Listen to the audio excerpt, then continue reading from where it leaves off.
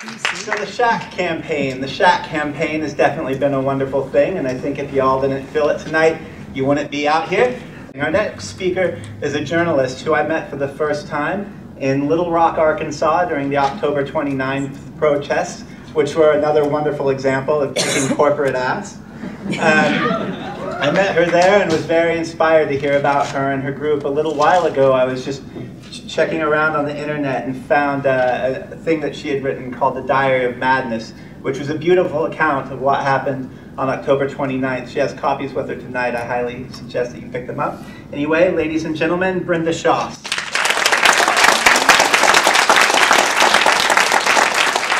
I see a man grab a little beagle by the loose skin over his neck.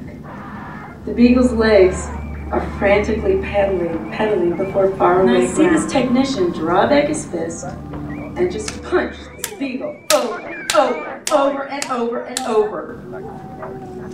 And the dog's cries are permanently logged inside my head. This is not medicine, this is madness. This is not medicine, this is Huntingdon Life Sciences.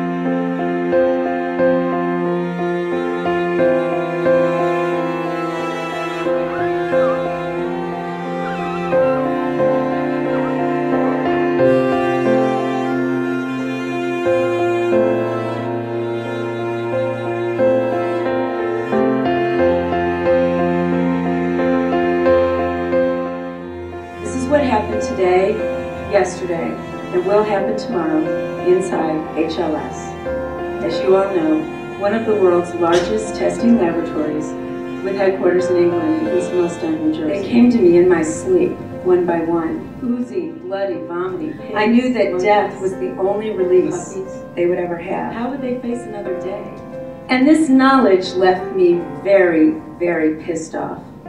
It left me full of rage.